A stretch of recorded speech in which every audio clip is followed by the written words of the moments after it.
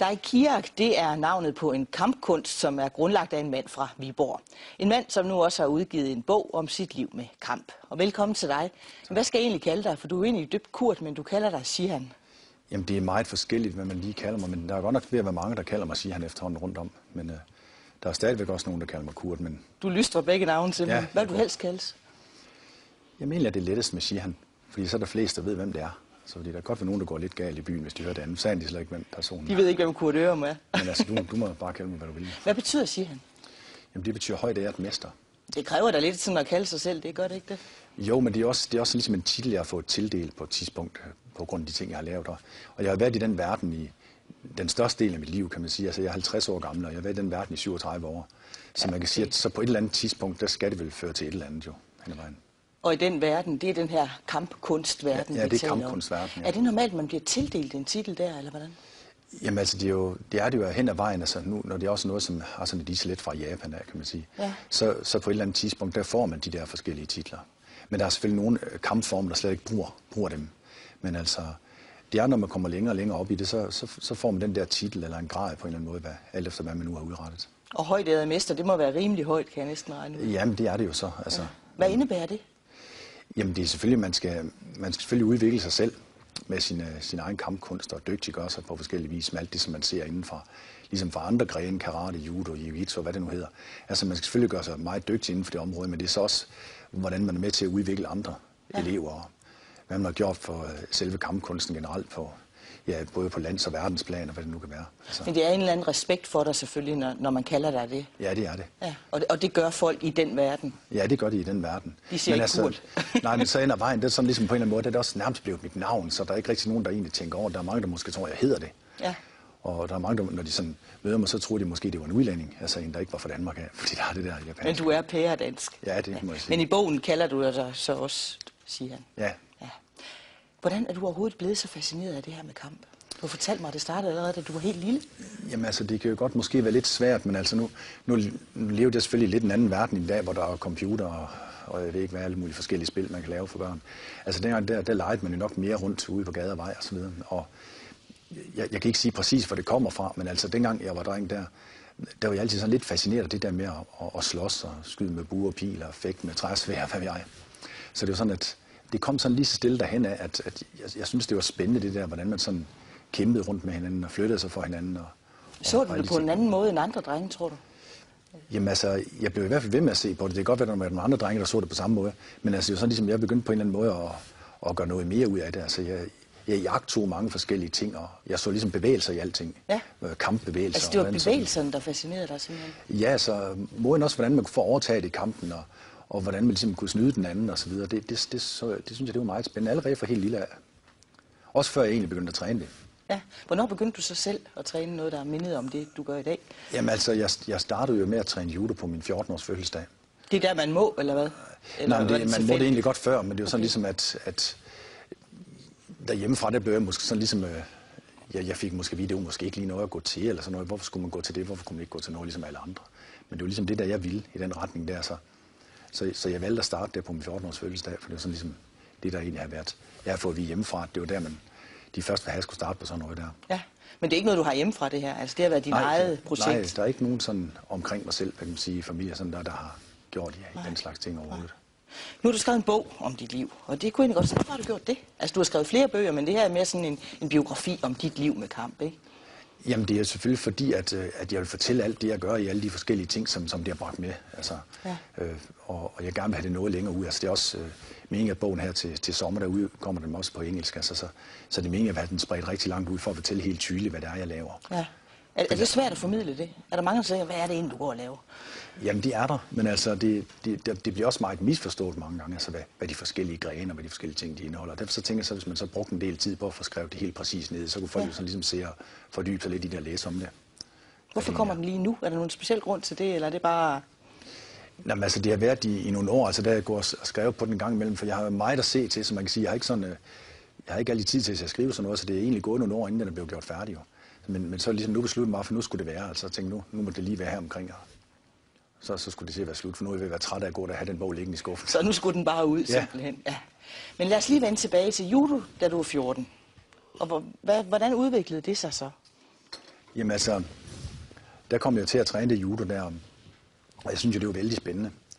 Men så, så, så hen ad vejen, mens jeg trænede, der var der så nogle andre kammerater, som var begyndt at træne karate. Og, og det var også begyndt at synes, det var lidt spændende, fordi i judo, der var det noget med, hvor man kastede med hinanden og lavede holdegreb og slog sig rundt ned på gulvet og sådan noget. Der var nogen, der begyndte at lave spark og slag, og det så sådan lidt mere fascinerende ud. Det, der. Det var karate? Ja. ja. Og så begyndte jeg også at interessere mig noget for det, og begyndte at snuse lidt rundt, hvad der var forskellige ting. Og så på et tidspunkt, så skiftede jeg så over til karate nogle ja. få år efter der. Så dyrkede du det også? Ja, så dyrkede jeg det. Var du god til det? Jamen altså, nu ved jeg ikke, altså der er selvfølgelig, så skal man selvfølgelig have fat i nogen med instruktør fra dengang. Ej, du har selv en fornemmelse, ja, men jeg, altså, jeg gik jo rigtig meget op i det, så, så når jeg, sådan, jeg kan ikke komme udenom, jeg blev jo god til det, men det, det er godt, at det var simpelthen, fordi jeg brugte simpelthen alt min tid, hvor det, jeg tænkte næsten ikke på andet end det. Så skulle man jo næsten på en eller anden måde, hvis ikke man var helt ved siden af, så for, for nu at kunne noget af det. Du, alt fritid brugte du simpelthen på det? Ja, det var godt nok en rigtig stor del. Altså, ja. når, jeg, når jeg ikke lavede det hvad man siger, fysisk, så tænkte jeg næsten på det, så, så jeg, det var godt nok næsten det, der fyldte det hele. Det var bare dit kald? Ja, det kan man sige. På en eller anden måde? Det fortæller jeg også om i bogen, altså ja. ja. meget tydeligt. Ja, hvis man vil rigtig meget mere, så skal man selvfølgelig læse bogen. Ja. Men her, der skal vi også vide, fordi så på et tidspunkt, så beslutter du dig, det er ikke, du beslutter dig, men, eller om det er en proces, at du ligesom vil lave din egen kamp, sport eller kunst, eller hvad man nu kalder ja. det. Hvordan altså, ser det? Jamen altså, jeg, jeg træner jo meget, altså, jeg træner jo meget herhjemme og så videre, og begyndte at rejse rundt allerede, da jeg var teenager, i slutningen af teenageårene. Der begyndte så småt at rejse til andre lande og, og snuse til, jeg deltog også i... Altså inden for, for karate, judo eller karate? Var ja, for hele, hele kampkunstverden, kan man sige, alle mulige forskellige grene. Ja. Tog rundt og, og deltog i træningslejre og ophold på forskellige vis rundt omkring. Og, og så begyndte jeg mere og mere sådan at, at se, hvad det andet det var for noget. Der var nogle forskellige mangler, jeg synes, der var i det hele. Som jeg så tænkte, at at hvis jeg engang selv skulle leve af det her, have min egen klub eller skole, eller hvad det kaldes, ja. så ville jeg gerne have, at det skulle være på lidt en anden måde, for jeg synes, der var mange mangler. Og det er jo både i selve effektiviteten af men også måden hele tilgangen, man skulle have til det, som jeg mente, der skulle være på en noget speciel måde, hvordan man også, hvad kan man sige, gebærder sig som øh, kampkunstner, hvordan man opfører sig, hvordan man lever, når man er det. Så du opfandt simpelthen din egen ja, det gjorde så. stil, ja. som hedder? Den her så Dai Kirk, ja. og det, når man så lige ser det på skrift, så ser det ud som om det er Dai Haku, så det, det bruger vi mange gange at sige, for ellers forstår folk ikke rigtigt, hvad det er. Ikke, hvad det er. Men det var så i 1983. Ja, der grundlærer du simpelthen Dai Kirk. Ja. Og Skal det så anerkendes sådan internationalt, eller hvordan kan man bare sige, nu har jeg lavet en ny sport eller en Det ny kan man faktisk godt gøre, ja. Men ja. Altså, man, det, det er selvfølgelig bedst at få det så anerkendt som overhovedet muligt. Men det er ikke sådan, at det skal hen i et eller andet forbund og et eller andet stempel af en eller anden art. Det, folk kan egentlig næsten gøre, hvad de vil, jo, altså starte et eller andet op. Men det er så bare det er dem, som starter nu, også, som ikke rigtig kan holde, så falder det fra hinanden efter en kort tid. Ja. Jeg tror lige, vi skal have en fornemmelse af, hvad det er for noget, fordi vi besøgte dig, da I havde ja. 25 års jubilæum for, for din kampkunst, ja. og lavede det her indslag. Prøv lige at se med. Tak. Jamen, jeg, jeg føler ligesom, at jeg på den måde her bliver forberedt på alt. De har orientalske navne som Senpai og Sensei. Øverste mester er Shihan. Kort parade der. Der er et selvforsvarsaspekt i det. Og jeg er aldrig nogensinde nervøs, når jeg går nogle steder, eller er i nogle sammenhæng, hvor andre måske vil være For det utrænede øje ligner det, som foregår i træningslejren, andre kampkunstformer som karate og judo, men det er det ikke. Det er, det er en alsidig kampform, kommer med en meget nuanceret form for kamp, hvor vi har taget elementer fra mange forskellige arter. Det kombinerer både den sådan meget hårde fysiske side og træning med, øh, med en mental dimension og, og en, øh, en åndelig træning. Det er i år 25 år siden Kurt Ørum udviklede Daikirk. Og så bare følge med ned.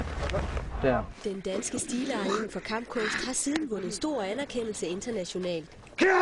Kurt Ørum er netop blevet tildelt 9. grad af det sorte bælte, eller 9. dan, som det hedder inden for sporten. Dermed er han en af de højst graduerede danskere i kampsportsverdenen. Det er ikke kun det at slå og sparke og træne kaster, strangulering og hvad vi jeg, men det er også en form for en, en bevidsthedsudvidelse, hvor man arbejder meget med sig selv. It's a total martial art.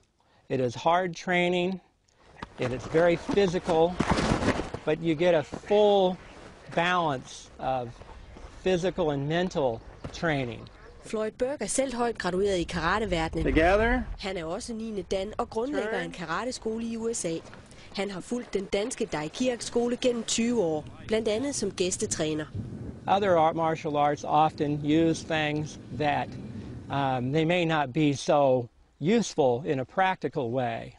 It may be good to do this movement for form for a beautiful movement and uh, uh, performance. But if it doesn't work in combat, um, he doesn't use it. And that's makes it different. På et andet punkt adskiller Daikiak sig også fra andre sportsgrene. Eleverne deltager ikke i konkurrencer eller opvisninger.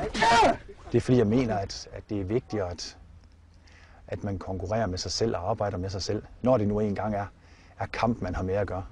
Der synes jeg, at det, det godt kan være en form for legaliseret vold, når man får lov at slå på hinanden. Og unge mennesker har også svært ved at administrere sådan noget, når de, når de kæmper om en medalje eller en pokal. Og det gælder om at vinde over den anden. Frem for, hvor man arbejder med sig selv. Og, og selv på et eller andet tidspunkt finde ud af, hvad man virkelig kan selv. Det er ikke religiøst overhovedet, men det er jo selvfølgelig en livsstil. Og, og det er en, altså, så er der en stor portion hård træning og disciplinering af fysikken med i det. Og det, øh, det har jo selvfølgelig sine omkostninger, og sin, det tager sin tid. Og tit så oplever man, tænker jeg, at i et moderne liv, at man egentlig ikke gør det, man har lyst til. Og man gør ikke det, som man godt ved, man burde gøre, og som er det rigtige at gøre. Det, det føler jeg arbejder aktivt med her. Ki, det er noget med den indre kraft. Og det betyder, at den indre krafts yderste udstråling, det som der er kirke er. Og det er det, som, som adskiller sig fra andre, at vi går også meget i dybden med det indre. Det er meget mere om dig i kirke, men jeg kunne godt tænke mig at vide meget mere endnu. Hvordan adskiller det sig fra karate og judo for eksempel? Er der nogle altså- væsentlige punkter der? Jamen altså, der, der er jo dele, altså man kan sige ligesom, at den måde, jeg har lavet det på, det er det sådan, at der har jeg jo taget noget fra alle, alle former, kan man sige. Så der, det adskiller selvfølgelig ved, at der er meget mere fylde i der er mange flere ting i det. Ja. Men altså, hvor i judo man kaster og laver armlås og strangulering. Det gør og, I hvad. Det, jo, det tager vi, der har vi også noget derfra. Vi har sådan skåret noget af det fra, det som jeg mener, der ikke rigtig kan bruges. Det der er for klassisk gammeldags, som ikke rigtig er anvendeligt. Og lige så også for karate, der er også nogle ting, jeg sorterer fra, som jeg mener, man ikke kan bruge. Det er synes, ikke, fordi det jeg er mener, det er noget skidt, altså, fordi andre bruger det måske, og det er godt nok til nogle ting, men det er ikke noget, der sådan ligesom siger mig så meget. Det er egentlig spændende. Har du skrevet det ned i sådan en katalog, eller kan du bare huske det? Eller? Jamen, jeg kan da også godt huske det. Altså, det meste af det, for jeg har brugt så meget tid på det, men, men jeg har selvfølgelig også lavet en eller anden manual for alt det, der foregår. Det findes der. Ja, det findes der selvfølgelig. Så når du ikke er her engang mere, så er der nogen, der kan tage over. Ja, det bruger jeg meget tid på at finde ud af, hvad der skal ske den dag. Altså, det, det bruger jeg meget tid egentlig på. En ting, jeg hæfter mig ved, det er, at der er ikke, der er ikke noget konkurrence i det. Og du har så også fortalt mig, at der er heller ikke noget med bælter. Ja. Hvorfor?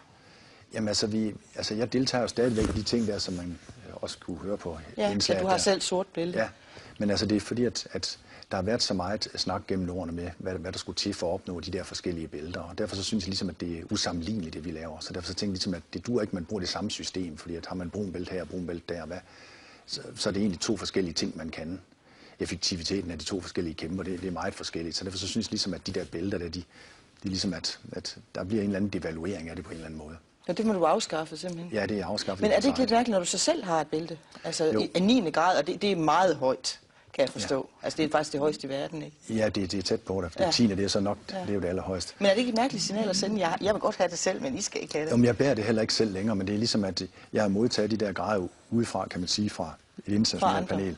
Ja. Og derfor så ligesom så, så har jeg dem stadigvæk, men det er jo ikke andet, de ligger i skuffen, for jeg, jeg bruger dem jo aldrig i, i træning eller noget som helst. Du bruger dem Der er jeg jo bare, han. Men hvad kan du? Jamen altså, Kunne du slå mig ihjel? ja, det, det vil nok være rimelig let. Det vil Altså, jeg skulle lige have fjernet kaffekopper og tekopper. Ja, vi skal, du lader bare være, ikke også? Ja. Men, men det kan du. Ja, det, men altså den største kunst i, altså i kampkunst, det er jo sådan set at kan styre det der, kontrollere det der, ikke at bruge tingene.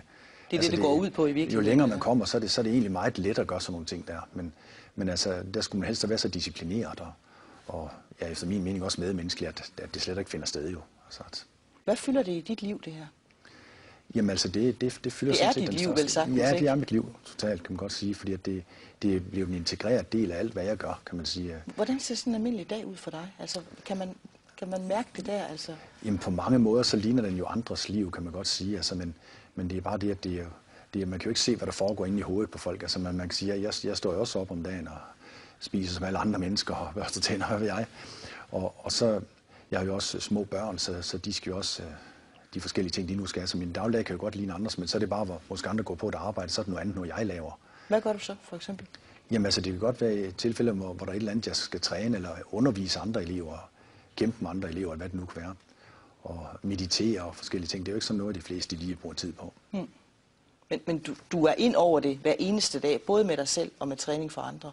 Ja, der, jeg er inde over det hver dag. Ja, ja. Det er bare på forskellige vis. Det kan godt være, at det er noget, hvor det er fordybelse, hvor jeg ser og tænker over nogle